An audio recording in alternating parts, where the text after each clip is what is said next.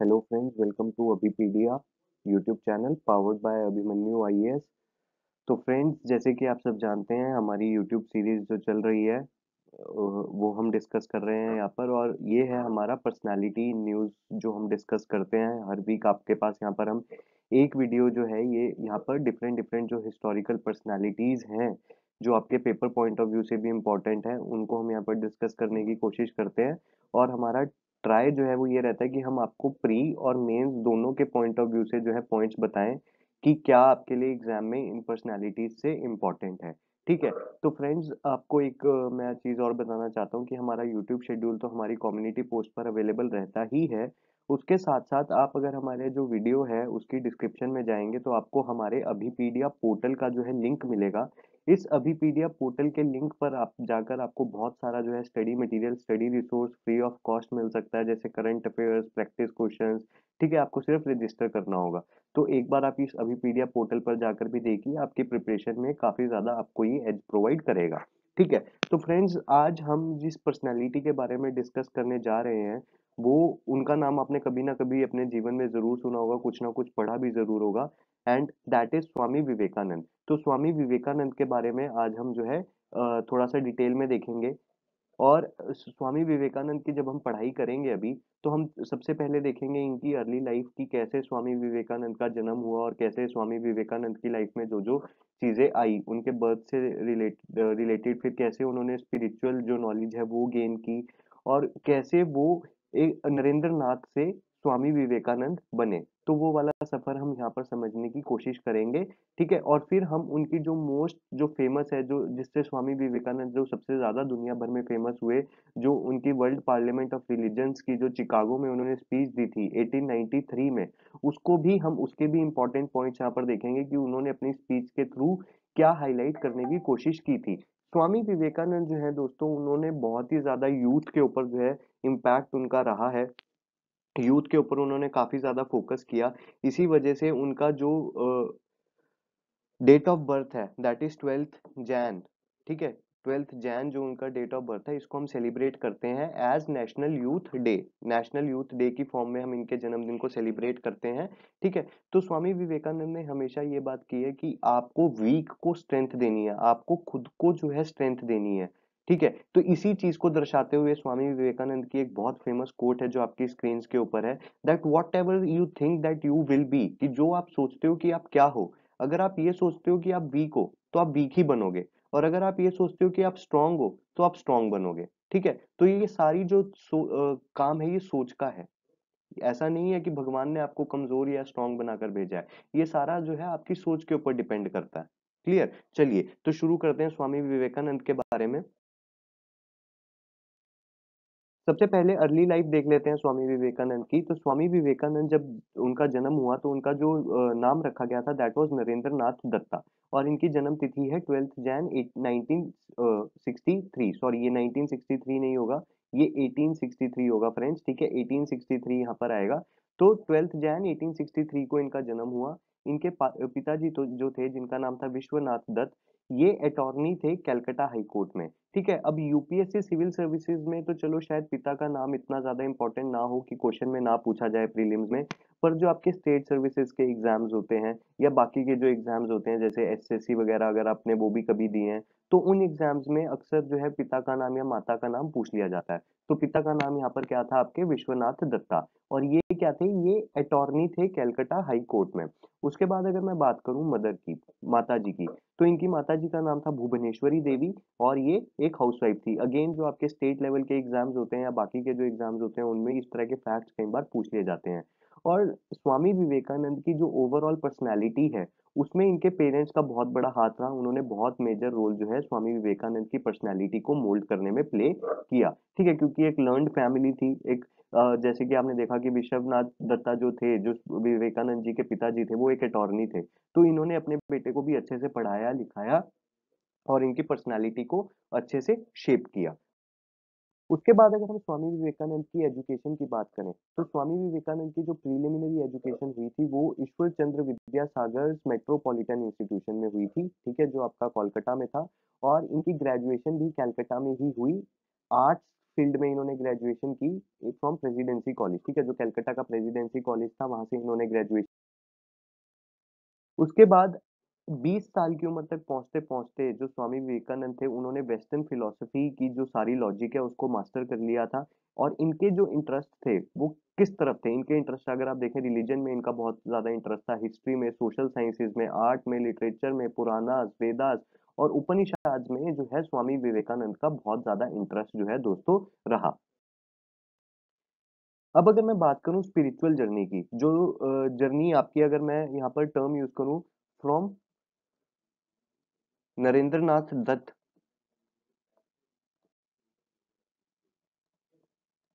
To, Swami Vivekananda. अगर मैं इस जर्नी की बात करता हूँ। ठीक है? तो वो क्या जर्नी थी? वो स्पिरिचुअल जर्नी क्या थी? तो 1887 में पहुँचते पहुँचते इन्होंने फॉर्मली जो है प्रण लिया संन्यास लेने का।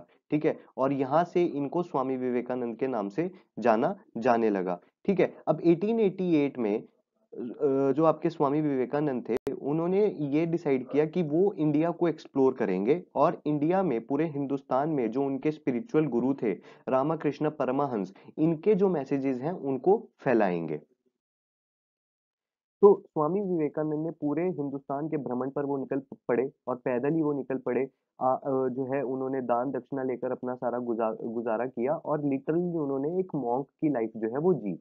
ठीक है, हम आगे चलकर जब मॉडर्न इंडियन हिस्ट्री दोस्तों पढ़ते हैं, जब मॉडर्न इंडियन हिस्ट्री हम पढ़ते हैं तो आप देखेंगे, जब मॉडर्न इंडियन हिस्ट्री में हम महात्मा गांधी की बात करते हैं, गांधी जी की हम बात करते हैं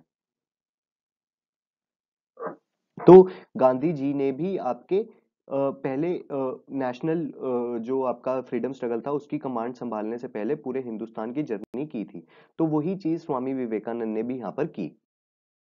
अब फेम एंड रिकॉग्निशन की बात करें कि जो स्वामी विवेकानंद हैं उनको इनका ये जो करंट फेम और आ, मिला वो कहाँ से मिला? मेनली वो मिला आपकी 1893 में जो वर्ल्ड पार्लियामेंट ऑफ़ रिलीजन हुई थी शिकागो में।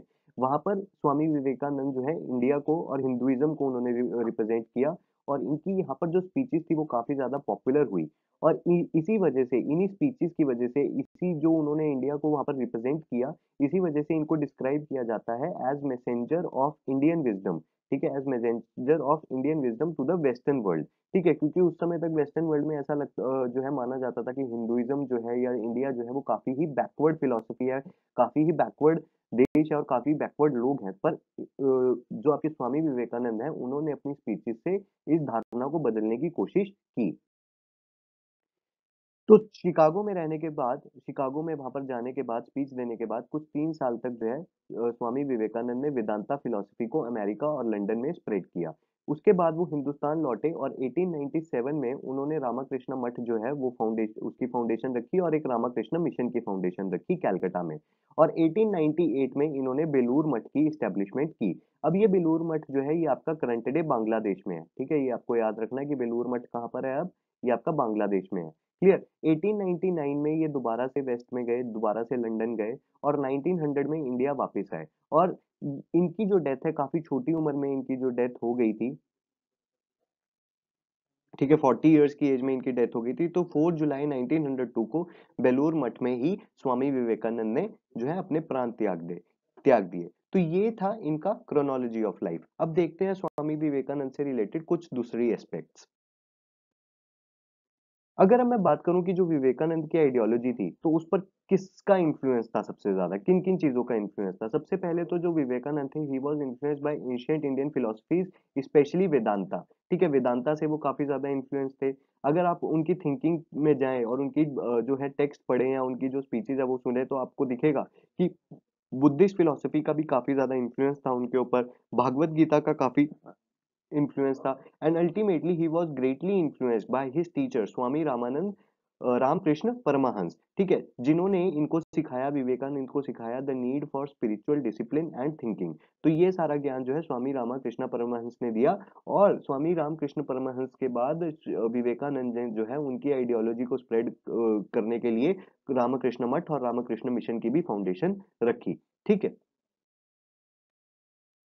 अब भगवान में क्या बिलीफ था? स्वामी विवेकानंद का भगवान में क्या बिलीफ था? तो स्वामी विवेकानंद का मानना था कि भाई अगर आप स्पिरिट के ट्रुथ में मान रहे हो और यूनिवर्सल, यूनिवर्स के ट्रुथ में मान रहे हो कि भाई यूनिवर्स है तो आप भगवान का ट्रुथ डिनाई नहीं कर सकते। या तो आप मान ही नहीं रहे कि भाई यूनिवर्स जैसी कोई चीज़ है या स्पिरिट जैसी कोई चीज़ है, तब तो ठीक है। लेकिन अगर आप इन चीज़ों में मान रहे हो तो गॉड में भी आपको मानना पड़ेगा। और स्वामी विवेकानंद ने ये कहा कि कुछ लोग कहते हैं कि हमने भगवान को देखा नहीं, हमने भगवान को महसूस नहीं किया तो हम भगवान को कैसे माने? तो विवेकानंद ने, विवेकानंद का ये मानना था कि अगर आप चाहें, अगर आप पूरी श्रद्धा से काम करें तो इट इज़ पॉसिबल कि आप एक गॉड को एक्सपीरियंस कर सके, उनको फील कर सके। ठीक है? तो ये जो है विवेकानंद का भगवान में उसके बाद अगर मैं रिलीजन की बात करूँ तो अकॉर्डिंग टू विवेकानंद जो रिलीजन है आपका, ये सिर्फ़ कोई डॉक्ट्राइन नहीं है, या कोई थ्योरी नहीं है, ठीक है? रिलीजन के सहारे ही इंसान जो है, अपने अंदर का बेस्ट और अपने अंदर की स्ट्रॉन्गेस्ट पावर्स को रियलाइज़ कर सकता है। अगर इंसान कोई रिलीजन को फॉलो कर रहा है तो वो उसको हेल्प करता है अपने बेस्ट और स्ट्रॉन्गेस्ट पावर्स को रियलाइज़ करने में, ठीक है? और इनका ये भी मानना था, देखिए, जो स्वामी विवेकानंद थे, वो कभी भी उन्होंने जो है इनटॉलरेंस की बात नहीं की, हमेशा उन्होंने टॉलरेंस की बात की। ठीक है? और उनका ये मानना था कि जो ये दुनिया है, जो एक धर्म दूसरे धर्म को एक्सेप्ट नहीं कर रहा है या एक धर्म दूसरे धर्म को टॉलरेट नहीं कर रहा है ये सबसे बड़ा मिसफॉर्च्यून है इस दुनिया का, ठीक है? ये सबसे बड़ा मिसफॉर्च्यून दुनिया का है and he advocated the world of universal oneness ठीक है? कि ठीक है, आप अलग अलग रिलीजन्स को फॉलो कर रहे हैं, आप अलग अलग धर्मों को अलग अलग संप्रदायों को फॉलो कर रहे हैं, पर आप दूसरे जो बाकी के रिलीजन्स हैं, उनको इंटॉलरेंट मत कीजिए, उन, उनको भी टॉलरेंस से देखिए और इससे क्या होगा? एक यूनिवर्सल वननेस क्रिएट होगी और एक कॉस्मोपॉलिटेनिज्म का कंसेप्ट जो है दुनिया में आएगा ओके चलिए। अब स्वामी विवेकानंद की अगर हम आगे फिलॉसफी देखें तो स्वामी विवेकानंद की अगर हम फिलॉसफी को डिस्क्राइब करें तो हम उसको as a spiritual inquiry describe कर सकते हैं, ठीक है? वो एक इंक्वायरी की जील थी और spirituality is the only truth जो है आपके स्वामी विवेकानंद जो है वो मानते थे। And Vivekananda always believed in the singularity of truth कि सच हमेशा एक होता है, ठीक है? ऐसा नहीं है कि बहुत सारे सच हो सकते हैं, सच हमेशा एक होता है। उसके बाद स्वामी विवेकानंद ने, जैसे कि मैंने आपको पीछे बताया कि he believed in the Bhagavad Gita. Bhagavad Gita का बहुत सारा इन्फ्लुएंस था। तो स्वामी विवेकानंद का ये मानना था कि जो आपका सोल है, जो आपकी भगवत गीता है, वो भी यही बोलती है ना कि भाई आत्मा जो है वो तो इमोरल है। ठीक है, उसको ना कोई मार सकता है, ना कोई जला सकता है, ना कोई काट सकता है। गीता में कृष्ण ने यही बोला है।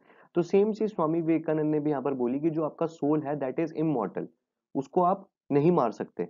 ठीक है, ये स्टार्ट होता है, फिर रीबर्थ होता है और ये एंड अल्टीमेटली जो ये सोल है, इसका बर्थ और रीबर्थ और का जो कंसेप्ट है, वो तभी खत्म होगा जब आप लिबरेट हो जाएँगे, जब आपको यानी कि क्या मिल जाएगा?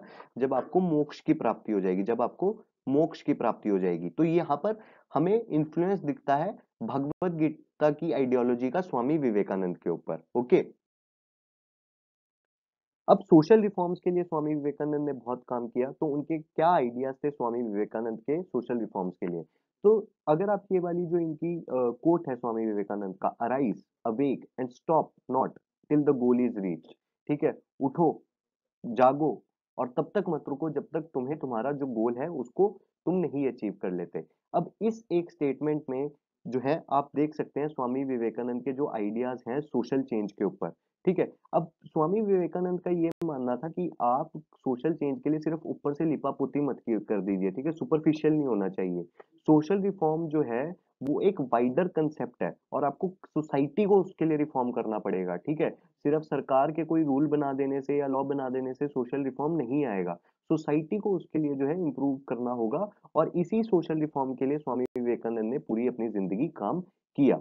ठीक है? और इनका ये मानना था कि जब तक कंप्लीट रिफॉर्म नहीं आएगा, तब तक ये चीज़ें मीनिंगफुल नहीं होंगी और लॉन्ग लास्टिंग नहीं होंगी। एक सरकार ने कोई कानून बना दिया, दूसरी सरकार उस कानून को आकर बदल देगी तो वो तो लॉन्ग लास्टिंग रिफॉर्म नहीं हुआ ना। लॉन्ग लास्टिंग रिफॉर्म कब होगा? जब सोसाइटी की ही थिंकिंग चेंज हो जाएगी।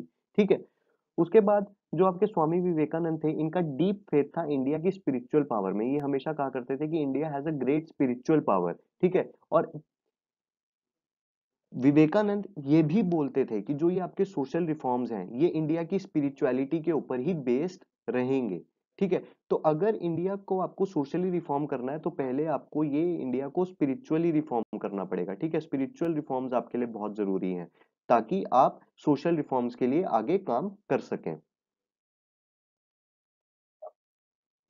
स्वामी विवेकानंद जो थे दोस्तों, उनका ये भी मानना था कि जो इंडियन सोसाइटी थी, उसमें विल पावर की कमी थी। और जो इंडियन सोसाइटी के जो दुख थे उस समय के कॉलोनियलिज्म के समय के, उन दुखों का कारण ये जो विल पावर की कमी थी इंडियन सोसाइटी में वो ही था। ठीक है? और इस, हमेशा इसीलिए ये क्या बोला करते थे कि जब तक लोग जो है, खुद से अपनी प्रॉब्लम्स को सॉल्व करना नहीं शुरू करेंगे, तब तक कोई भी इम्प्रूवमेंट आपको देखने को नहीं मिलेगी। इन्होंने सोशल रिफॉर्मर के भी कुछ फीचर्स बताए स्वामी विवेकानंद ने। स्वामी विवेकानंद का ये कहना था कि जो आपका सोशल रिफॉर्मर है, उसको डीप एम्पेथी होनी चाहिए सोसाइटी के लिए, ठीक है? सोसाइटी के लिए एक फीलिंग होनी चाहिए उसके अंदर, ठीक है? और सोशल रिफॉर्म के लिए जो आपके स्वामी विवेकानंद थे, वो यूथ के ऊपर बहुत ज़्यादा जो है डिपेंड करते थे। स्वामी विवेकानंद का ये मानना था कि जब तक यूथ जो है वो अपने कंफर्ट्स को सेक्रीफाइस नहीं करेगी, तब तक इंडिया दोबारा से दुनिया में अपनी जगह नहीं हासिल कर पाएगा। ठीक है, आप अभी भी देखते हैं, हम बात करते हैं डेमोग्राफिक डिविडेंड की। हम इतनी ज़्यादा डेमोग्राफिक डिविडेंड की क्यों बात करते हैं?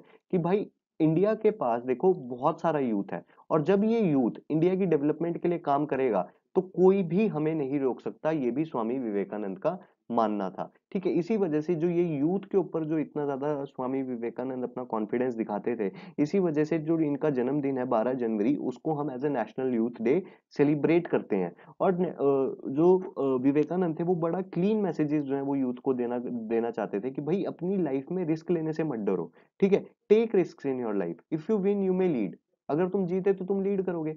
लेकिन अगर तुम हार भी गए, तब भी तुम, ऐसा नहीं है कि बिल्कुल ही तुम्हारी ज़िंदगी खत्म हो गई। तुम दूसरों को गाइड कर सकते हो आगे सक्सेस के लिए। ठीक है, बहुत से बच्चे जब यूपीएससी की तैयारी शुरू करते हैं दोस्तों, ठीक है तो जब हम तैयारी शुरू करना, करते हैं तो बीच बीच में हमें डिस्करेजमेंट आती रहती है कि मेरा पेपर क्लियर होगा या नहीं होगा। हमने एक अटेम्प्ट दिया, उसमें हमारा नहीं पेपर क्लियर हुआ तो दूसरे अटेम्प्ट के समय दूसरे अटेम्प्ट के लिए जाते समय हमारे मन में बहुत सारे थॉट्स आते हैं कि हमारा पेपर होगा या नहीं होगा, मैं नहीं बना तो क्या होगा। आप ये मत सोचिए, आप अपनी लाइफ में रिस्क ले लीजिए। अगर आपको आई बनना है तो आप रिस्क तो है ही ना बच्चों। ठीक है? जिस दिन आप सोचोगे कि आपने तैयारी करनी है, ऐसा तो है नहीं कि यूपीएससी ने अपने रजिस्टर में आपका नाम लिख के रख लिया कि हाँ भाई, इस फलाने बच्चे ने सोचा है कि ये आईएएस बनेगा तो हमने इसको आईएएस बनाना है। नहीं रिस्क है एक कॉम्पिटिशन है। ज़रूरी नहीं है कि आप, चाहे जी तोड़ से भी जान लगा कर भी मेहनत कर दो, ऐसा ज़रूरी नहीं है कि आप आई बनो। क्योंकि और भी लोग मेहनत कर रहे हैं। किसी और की मेहनत के आपसे ज़्यादा हो। तो वो बन गया आई आप नहीं बन पाए। कोई बात नहीं, लेकिन रिस्क तो लेना पड़ेगा ना लाइफ में। अगर आप ये सोचो कि यार मैं नहीं बनूँगा, मेरा ये है, साल लग जाएगा, वो लग जाएगा, इतनी मेहनत करके भी मैं नहीं बना तो क्या फ़ायदा ऐसे वैसे? तो वो तो आप वैसे भी नहीं बने। एटलीस्ट अगर आप रिस्क लोगे, अगर आप एक बार तैयारी करनी शुरू करोगे, और अगर आपकी तैयारी अच्छे से आपने की, मेहनत अच्छे से की, और आप आई बन गए तो उसमें तो रिटर्न तो मिली ना आपको। लेकिन अगर आपने ट्राई ही नहीं किया तो फिर तो बात ही खत्म होगी। तो रिस्क लेना लाइफ में बहुत ज़रूरी है। ये जो है स्वामी विवेकानंद यूथ को क्लियर मैसेज देते थे। ठीक है? स्वामी विवेकानंद का ये भी मानना था कि सोशल चेंज आने के लिए पहले लोगों की आइडियोलॉजी को चेंज होना पड़ेगा। आइडियोलॉजिकल चेंज बहुत ज़्यादा ज़रूरी है। ठीक है? अगर आपको सुपरस्टिशन चेंज करना है कास्ट सिस्टम की रिजिडिटी को चेंज करना है तो उस सब के लिए इंपॉर्टेंट है कि आप आइडियोलॉजिकल चेंज लेकर आए। ठीक है? और विवेकानंद ने यह भी बोला कि अगर आपको इंडिया को ट्रांसफॉर्म करना है तो किसी एक क्लास या किसी एक धर्म के लोगों को चेंज करने से कुछ नहीं होगा। जब तक हिंदुस्तान में जितने धर्म के लोग हैं, जितने संप्रदायों के लोग हैं, जितने जाति के लोग हैं, वो तब तक, जब तक साथ में मिलकर काम नहीं करेंगे, तब तक जो ये सोशल चेंज है, ये इनकम्प्लीट ही रहेगा। कभी भी ये कंप्लीट नहीं होगा। तो ये स्वामी विवेकानंद का यहाँ पर मानना था। क्लियर तो इसी वजह से स्वामी विवेकानंद ने हमेशा ट्राई किया कि वो हर तरह के लोग, चाहे वो यूथ हो वुमेन हो पुअर हो वर्कर हो पेजेंट हो, सबको उन्होंने एक साथ जोड़ने की कोशिश की। And he became the first religious leader to claim the neglect of masses as the major reason for the country's break down जो मासिस को निग्लेक्ट किया गया। हिंदुस्तान में भागीदारी में तो उसी की वजह से हिंदुस्तान जो है, वो एक ब्रेकडाउन सफ़र कर रहा है, ये स्वामी विवेकानंद का यहाँ पर कहना था। ओके आई थिंक यहाँ पर यहाँ तक आपको कोई डाउट किसी को होना नहीं चाहिए। चलिए तो फ्रेंड्स अब बात करते हैं पार्लियामेंट ऑफ़ वर्ल्ड रिलीजन्स की, जो आपके स्वामी विवेकानंद ने शिकागो में अटेम्प्ट किया था 1893 में। ठीक है? जिससे इनको फ्रीडम जो है फ़ेमस ज़्यादा ये इंटरनेशनल लेवल पर हुए। तो इनकी स्पीच के कुछ हम जो है सिलेक्टेड पॉइंट्स हम यहाँ पर देखते हैं। तो स्वामी विवेकानंद ने कहा कि I am proud to belong to a religion यहाँ पर अपने रिलीजन की इन्होंने बात की, जो Hinduism that which has taught the world both tolerance and universal acceptance तो यहाँ पर इन्होंने दिखाया कि जो हिंदुइज्म है इट टॉक्स अबाउट टॉलरेंस वो सारे धर्मों को टॉलरेट करने का कंसेप्ट और यूनिवर्सल एक्सेप्टेंस की बातें करता है। ठीक है? हम सिर्फ़ यूनिवर्सल टॉलरेशन के में नहीं मानते, बट हम ये भी मानते हैं कि जो सारे रिलीजन हैं वो सबके सब सच हैं। हम ये नहीं बोलते कि कोई एक पर्टिकुलर रिलीजन गंदा है या बुरा है या झूठा है। हम सारे रिलीजन्स की सच्चाई में जो है विश्वास रखते हैं। And he said that I am proud to belong to a nation which has shelter the persecuted and the refugees of all religion and all nation of the earth. कि दुनिया में जहाँ पर भी जो भी परसिक्यूट हुआ किसी भी धर्म का, किसी भी संप्रदाय का तो उसको हिंदुस्तान ने शरण दी। ठीक है? ये कंसेप्ट जो है स्वामी विवेकानंद ने जो है वो दिया था हिंदुइज्म का टॉलरेंस का। ठीक है तो आप कोट कर सकते हैं आप ये सब बातें। अगर आपसे सवाल यूपीएससी मेंस में इनटॉलरेंस के ऊपर आपसे कोई सवाल पूछ लेता है, ठीक है? या आपका जो है व्यू आपसे जानना चाहता है रिफ्यूजी का जो आपका इशू चलता रहता है, ठीक है? रोहिंग्या क्राइसिस जो चल रहा है, उसके ऊपर अगर आपके व्यूज़ माँगता है तो आप कोट करके जो है स्वामी विवेकानंद को कोट कर सकते हैं कि हमारी भैया ये आइडियोलॉजी रही है which has been also highlighted by Swami Vivekananda in the parliament of world religion in 1893 तो आप ऐसे कोट कर सकते हो, ठीक है? चलिए। उसके बाद अगर आप देखें I am proud to tell you that we have gathered in our bosom the purest eminent of Israelites अब यहाँ पर स्वामी विवेकानंद उसी स्पीच को कंटिन्यू करके बोल रहे हैं, जो इन्होंने रेफ्यूजीज की यहाँ पर बात की, कि भाई हमने इसराइल से आए लोगों को शरणार्थ दिया। ठीक है सदरन इंडिया में आप सब जानते हैं। ठीक है? जब रोमन टायरेनी ने इनको डिस्ट्रॉय कर दिया था और इन्होंने जोरेस्ट्रियंस का एग्ज़ाम्पल लिया कि भाई जोरेस्ट्रियंस को हमने जो है अपने यहाँ पर शरण दी एंशियंट टाइम्स में। तो ये सारी बातें जो है स्वामी विवेकानंद ने एज एन एग्ज़ाम्पल कोट की इस कॉन्फ्रेंस में।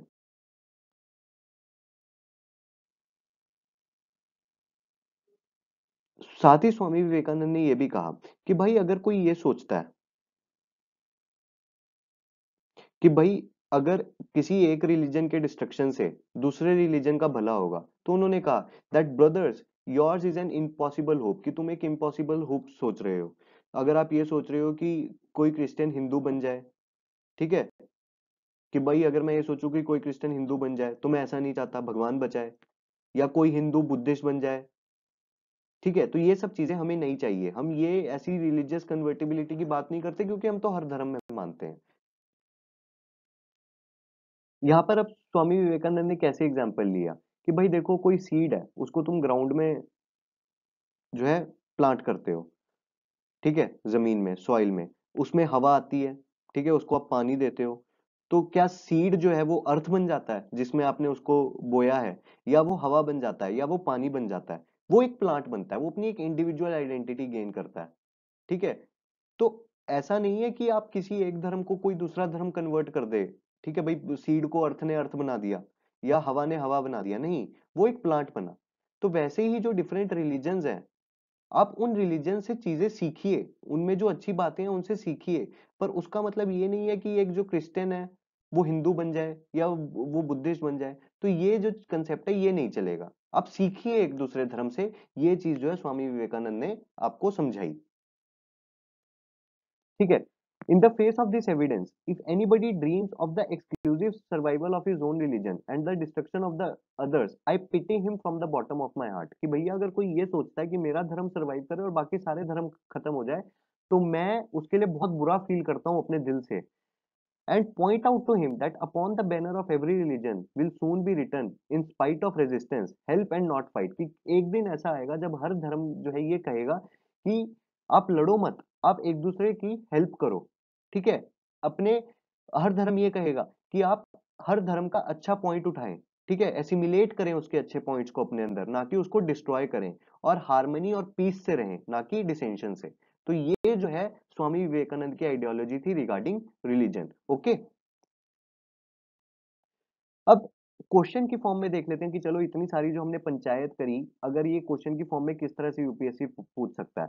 तो which of the following statement is true about Swami Vivekananda यहाँ पर पूछा गया है? Statement number one the birth date of Swami Vivekananda twelfth January 1893 celebrated as national youth day ठीक है? अब देखो यहाँ पर पहली स्टेटमेंट जो है, यहाँ पर ट्वेल्थ जनवरी 1893 अब कई बार पहले ऐसे क्वेश्चंस नहीं आते थे, पिछले दो तीन साल में, लेकिन यूपीएससी कई बार बहुत छोटे छोटे फैक्ट्स में भी मिस्टेक्स छोड़कर और आपको फंसा देता है। अब यहाँ पर अगर आप देखो, और ये फैक्ट ऐसा है कि यूपीएससी एज्यूम करेगा कि आपको पता होगा। 1893 इज़ वेरी फ़ेमस क्योंकि इस 1893 के ईयर में शिकागो में आपने वर्ल्ड रिलीजन ऑफ़ पार्लियामेंट में विवेकानंद ने स्पीच दी थी।